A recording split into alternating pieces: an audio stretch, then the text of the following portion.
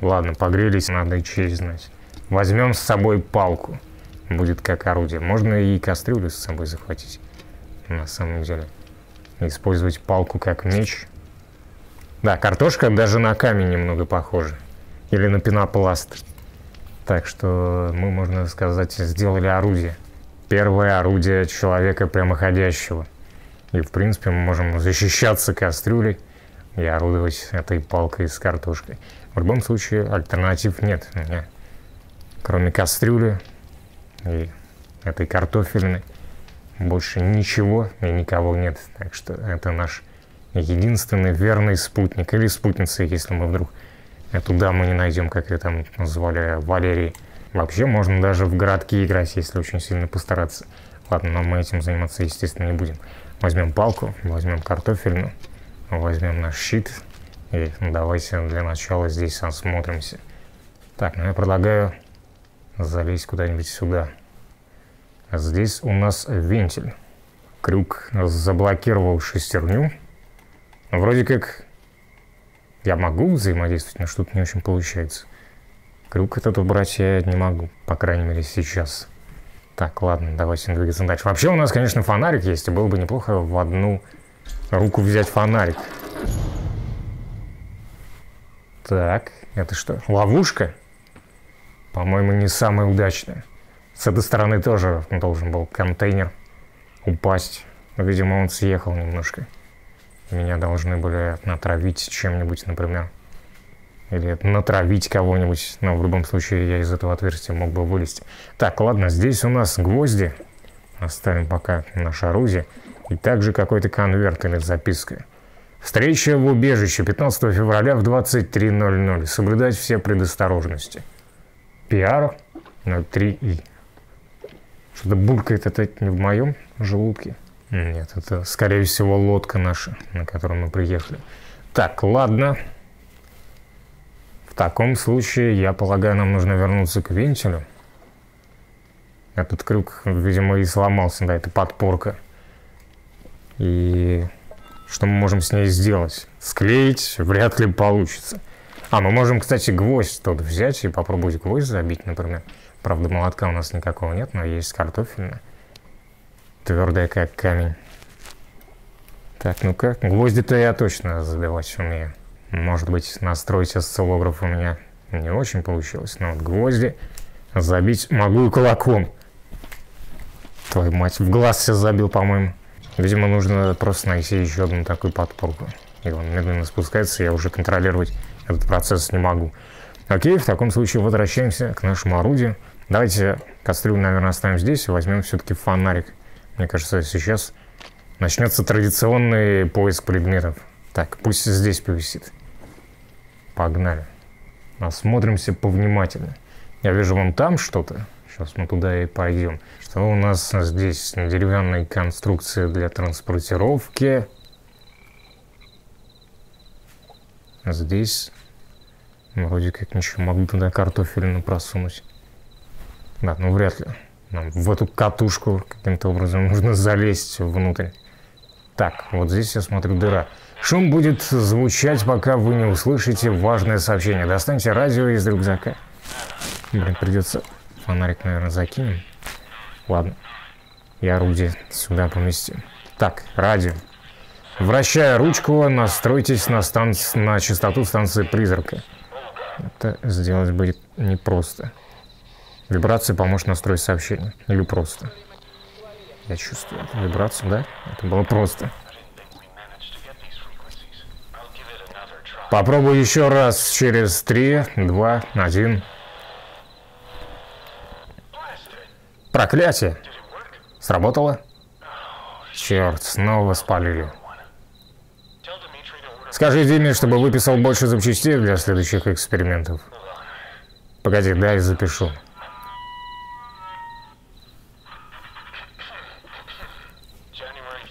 15 января 1976 года. Вторая смена, говорит Анатолий Складовский.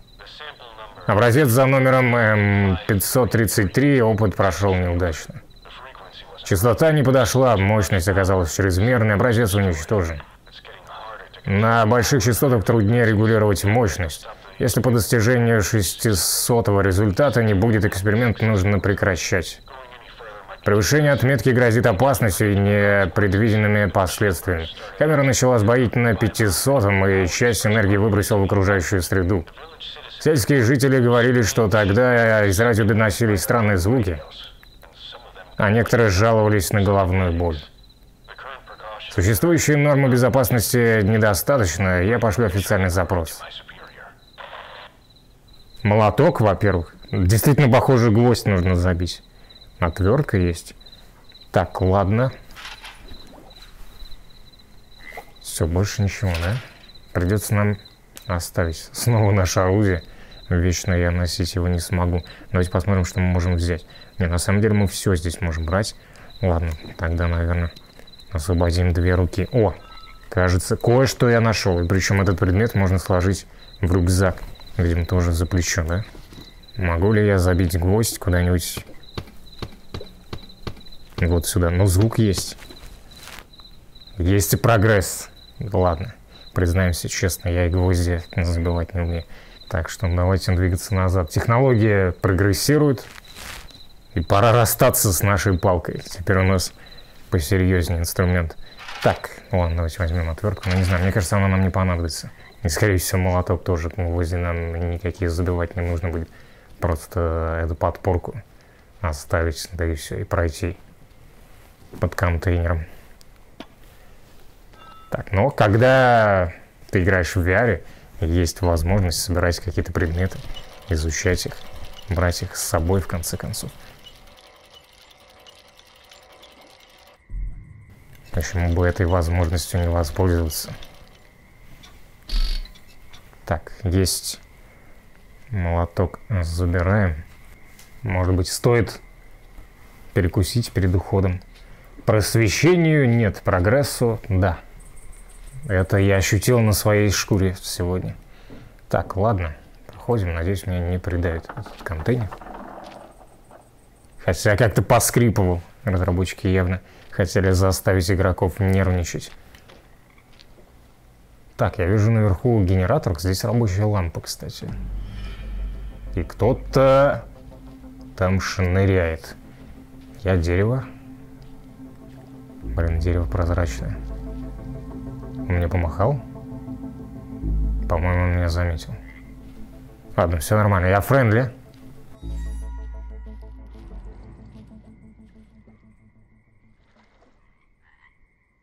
Не уверен, что и он тоже дружественный.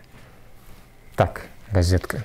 Радио не включать. Жители поселка Волна жалуются на головные боли. Да, об этом мы уже Узнали богатство недр на службу людям. Обеспечить достаток кормов. Как задумчивый.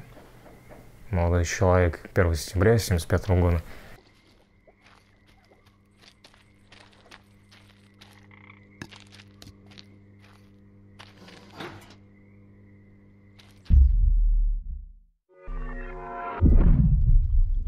Вот это кислотный приход. Я думал, меня убило током. Берегите лес от пожара. Росток, полигон, каскад, воронка. Карта. Блин, опять прилипло. Надо руки мыть. Ничего с этим поделать не могу. Ладно, ничего страшного. График смен. Удостоверение, имя, подпись. Может, мне надо расписаться? Да, действительно, смотрите. Так, теперь мы за Дмитрия Грага. Или это И, или Грига. Грага, наверное, играем. Удостоверение 333. А карандаш я, смотрите, положить сумел. Мне показалось, у него вместо руки гаечный ключ, как у пирата. Так, ладно. Здрасте, я пришел, расписался, готов к работе. Дмитрий, привет! Хорошо, что ты принес микросхему. Да, она прилипла. Отдай логику Ивану, он уже почти настроил шлюз. Да он что-то отмахивается. Он выглядит как Петька. А этот э, мужик выглядит как Иван Васильевич почти. Так, ладно, сейчас, сейчас, братан. Не тяни, отдай эту штуку Ване. Секунду, я хотел бы здесь осмотреться, на самом деле. У вас достаточно неплохие пейзажи. М? Как считаешь? Держи. Помочь? Дмитрий, иди сюда. В молодости я был чемпионом по охоте на лис. Фонарик нельзя. Спортивная радиопеленгация в СССР это было очень популярно. Просто слушай, сигнал поможет тебе найти передатчик и поймать лису. Более высокий тон указывает правильное направление. На, попробуй. Включи эту штуку и постарайся найти передатчик. Так, ну, медленно поворачивай слева направо и иди по сигналу. Передатчик где-то здесь. А что, если я не хочу? Гляньте, какой гордливый, доволен собой. Давай, Дмитрий, найди передатчик. Ладно. Так, а как включить эту штуку? Включил? Включил. Мне надо звук выкручивать, потому что я не слышу вообще пеликанье. Я этого мужика еле слышал. Благо есть субтитры. Дмитрий, давай, найди передатчик. Да сейчас я уже близок, я уверен. Писк, по-моему, сейчас вообще ничего нет, да? О, кажется, я что-то слышу. Наверняка вон в тот ангар нужно залезть. Так, усиливается. Да. Или нет? Что-то я не могу сюда пролезть, но он усилился. Положи его в этот ящик, у нас есть дела поважнее. Ладно, в ящик так в ящик. В какой ящик-то? Вот в этот, по всей видимости.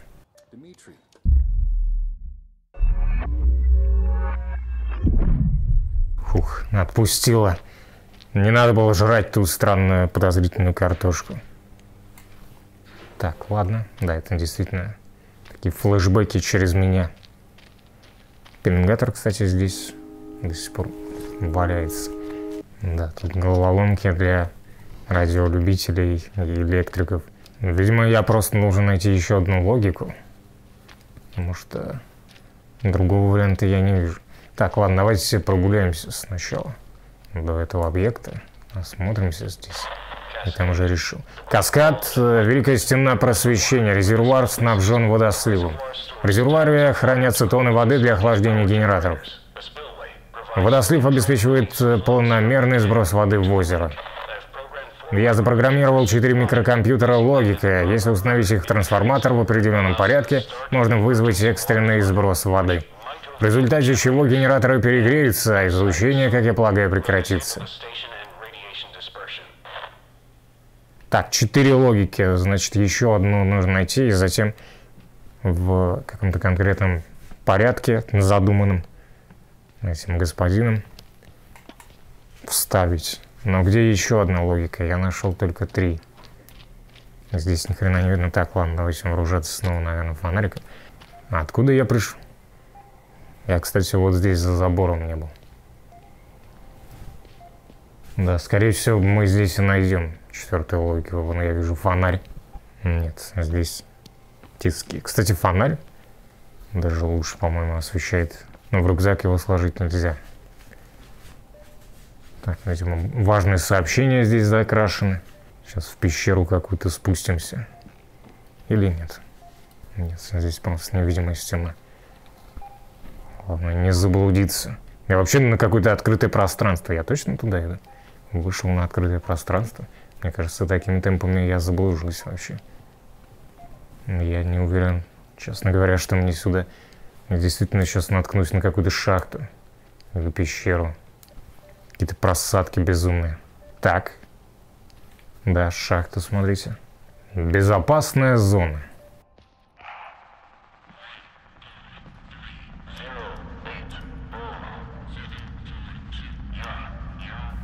Южный вход.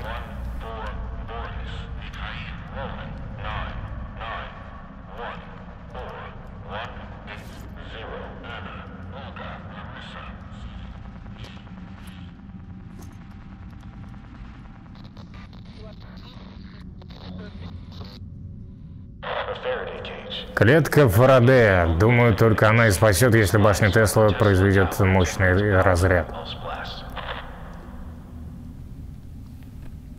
Конец сообщения. Вот это улетел фонарь, вы видели? Ладно, ничего страшного. Главное, что он никуда не провалился. Это было не страшно. Но на самом деле здесь так достаточно освещения. Все хорошо видно. Так, но мне кажется, я не туда забрел вообще. Или я сюда в итоге должен был прийти. Газ, контейнер. И вон там записочка какая-то, но, к сожалению, я достать ее не могу. А вон ступеньки. Здесь, кстати, еще один молоток. Может быть, когда-то он нам пригодится все-таки, огнетушитель взять нельзя. Так. Это что? Google Glass? Они предсказали появление этой технологии. Дополненная реальность была еще в 76-м или какой там год. Так, ладно. Не знаю, вряд ли это какая-то подсказка. Здесь замок открыть. Мы его вряд ли сможем, судя по модельке. Так, спрыгнуть можно? Да. Ладно, давайте двигаться дальше. Нам похоже вот сюда. Особый контейнер, непроницаемый для электромагнитных волн. Технология применяется для защиты чувствительной аппаратуры от радиочастотного воздействия. Клетка также может уберегать людей и технику от тока, например, молний и статических разрядов. Клетка Фарадея. Схема башни Теслы. Еще одна фотография. Углом мы сможем покрутить? Нет, к сожалению. Не проработано. Я недоволен. Так, ладно. И здесь у нас дверь. Только уполномоченному персоналу. И эту дверь, естественно, сейчас мы никак открыть не сможем. Мне кажется, я просто рано сюда пришел. И ничего сделать я не могу. Либо я, конечно, что-то упускаю, но мне кажется, надо возвращаться. Да, давайте, наверное, пока вернемся. Здесь еще одна головоломка, а у нас за плечами предыдущая нерешенная.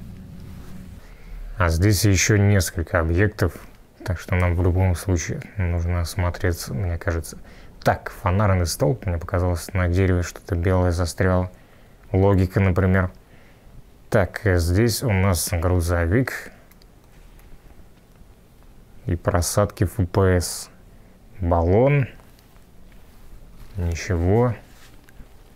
Просто в канаву какой-то свалился. Толку от этого никакого абсолютно нет. Тук-тук. Мне кажется, здесь уже никто не живет. Телефон рабочий, и кто-то звонит. Алло? Тони? Эй, алло, меня слышно? Макс, Макс, это ты?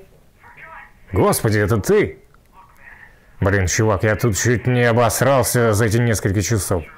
Я не знаю, то ли мне все это снится. Где, черт возьми, тебя носит? Я помню, как мы плыли на лодке, а потом я очнулся. Какой-то типа теплицы. Это какая-то гребаная теплица, чел, черт. Вот мы плывем на лодке, а вот... Я тут среди какой-то левой травы и всякой лабораторной хрени. Тут вывеска «Росток». Какого черта? Ну что за жопа? Один процент, братан, быстрее. Надо же было вляпаться, еще сеструху Лерку найти надо. Ты поможешь, Макс? Макс, алло. Эй, ты вообще меня слышишь? Нажми один. Все, норм, рад слышать. Э, пока еще чего не стряслось, встретимся за каньоном справа от э, пруда, рядом с... Так вот, с этого надо было начинать, братан. У меня один процент оставался. Ну ладно, про пруд хотя бы информация есть. Справа от пруда. Вот, соответственно, пруд. Где-то справа мы встретимся возле неизвестно чего. Экспериментальный полигон, каскад, росток, воронка. Ладно, мы, я думаю, наткнемся рано или поздно на нужное место. Так, все, здесь больше ничего нет, кроме газеты. Просвещение заявляет, причин для паники нет. Во время Чернобыльской катастрофы тоже говорили, причин для паники нет никакой. Так что рано или поздно мы кого-нибудь найдем. Я сквозь деревья, да, могу проходить, кстати.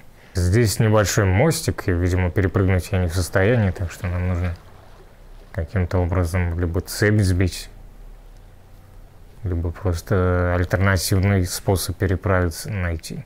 Так, ну и в итоге мы забрели снова на берег, но с другой стороны здесь огромный якорь, и больше ни хрена нет. Здесь могила вообще какая-то, или что это, плита. Я как в болото зашел. От счастья так и есть. А через многие объекты можно просто насквозь проходить.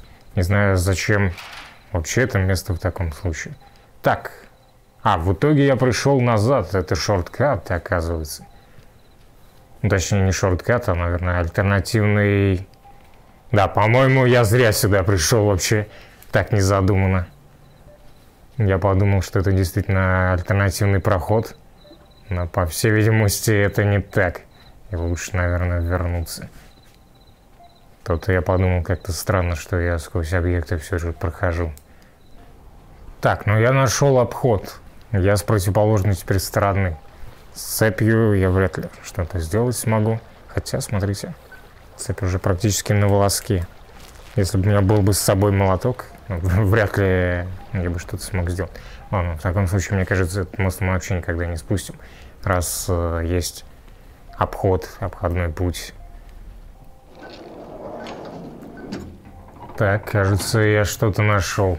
Положим фонарь, наверное.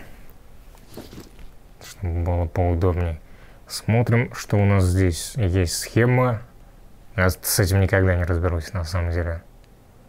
Фьюз. Переключатели активные. Я могу с ними взаимодействовать. Соответственно, нам какую-то цепь нужно составить. Так, один, два, три. Угу. Я должен был вставить.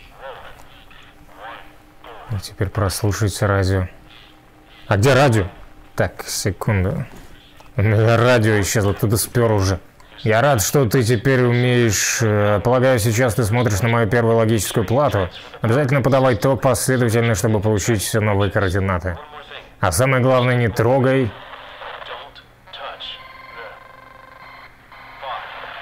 Лис. Пока.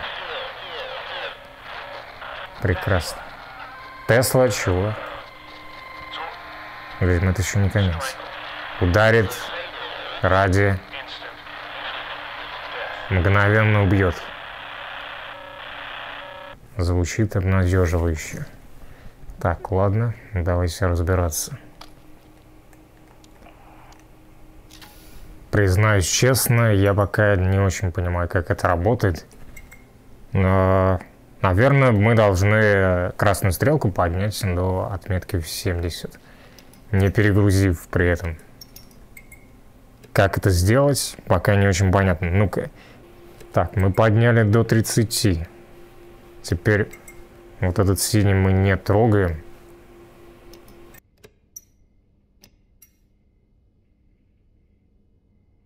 Так, 40. 50.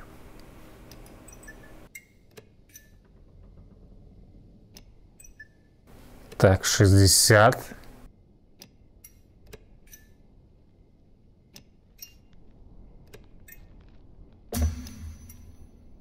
Ну, это было просто, но я не понял, что я делал. Это мне абсолютно не помогло. Я просто, можно сказать, методом тыка постепенно поднимал, соответственно, эту стрелочку. Так, ну все, пеленгатор я могу забирать. Да, вроде все получилось. Или нет? Я портал в ад открыл, какое-то адское пламя надвигается. Так, похоже, я знаю, куда бежать. Давай, быстрее. Оно все ближе и ближе. Ну ты не можешь побыстрее бежать? Что это такое? Он как черепаха ползет. Еще и сосед сверлит. Надеюсь, вы этого не слышите. Я не успел. Но теперь мы знаем, что делать. Надеюсь, не все заново. Фонарик, кстати, остался на прежней позиции. Так, хватаем и бежим сразу же. Фонарик нахрен не нужен. Забейте на него. Потом возьмем, возможно. Если мы когда-нибудь вообще вернемся. Как же он медленно бежит. Давай. Чуть-чуть. Да, надо было сразу совершать рывок, если бы я знал, что это так плохо все закончится. И я все равно мертв. Так, ладно, может быть мне еще дальше надо было забежать. Не останавливаться вообще. Я почувствовал себя в безопасности. Или мне нужно что-то активировать, возможно. Не знаю, ладно, давайте снова попытаемся забежать. Или в определенной зоне надо было стоять. Вот здесь вот. Вот в этой клетке, да. А я дальше побежал как дебил. Нам же писали как раз про эту клетку, но я только сейчас это понял. Так, кажется, все в порядке. И мир погрузился во тьму. Все, и фонарик теперь ни хрена не работает. Так, ладно. Убрать я его тоже не могу, кстати. Да и хрен бы с ним. Может быть, те самые ворота открылись теперь. Не похоже. Да, фонарик не работает, так что теперь наслаждайтесь темнотой, мраком. Вы можете просто закрыть глаза. Я буду рассказывать, что происходит. Если что-то увижу, конечно. Беру описание клетки Фарадея, снова насматриваю ее. Сверлит сосед. Пытаюсь забросить... О, наконец у меня получилось забросить фонарик в рюкзак. Ну-ка, если мы снова его достанем, может быть, он заработает? Нет, не похоже. Так, ладно, возвращаем фонарик. В таком случае здесь, нам в этом убежище, в бункере делать больше нечего. Выбираемся. Выбираемся из бункера и будем ориентироваться по свету. Если что, у нас еще остался пеленгатор, так что можно ориентироваться по пеленгатору. Эй! Максим! Я знаю, что ты меня слышишь. Это место. Кому-то очень больно. Он в ловушке. Ты ищешь своих друзей, да? Я тоже. Я хотел помочь Виктору, но сначала надо было его словить. Я слышал, как он мучился. Эй, Макс, будь осторожен.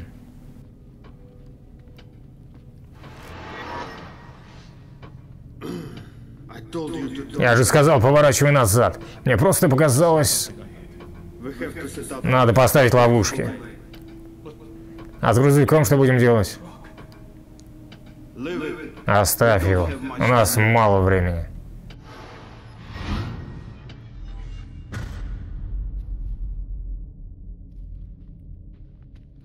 Да, видимо, свет приведет меня к истине.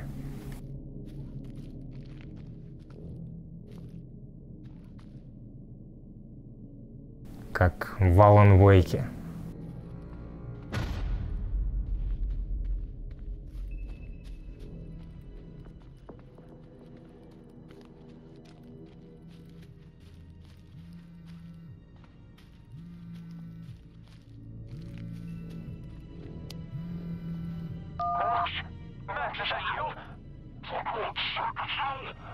Ну, кстати, телефон подзарядился, видимо, благодаря этому разряду и этому полю.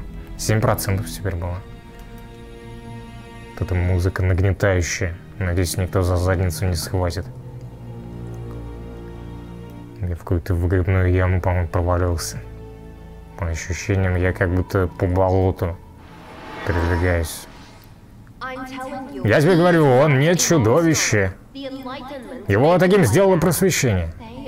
Вот уж точно логово монстров, а я столько лет тут работал и поверить не могу. Да, если бы Анатолий с Дмитрием не сказали нам правду, мы бы уже были мертвы.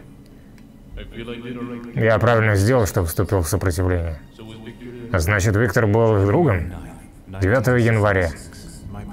Мой лучший друг Виктор, он был убит в стенах просвещения во время смены на экспериментальной станции «Росток».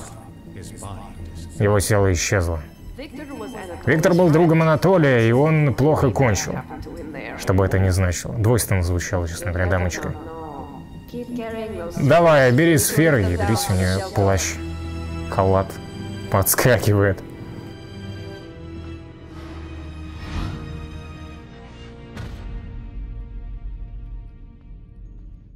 Так, ладно, мы выяснили что он плохо кончил, и женщине это не понравилось.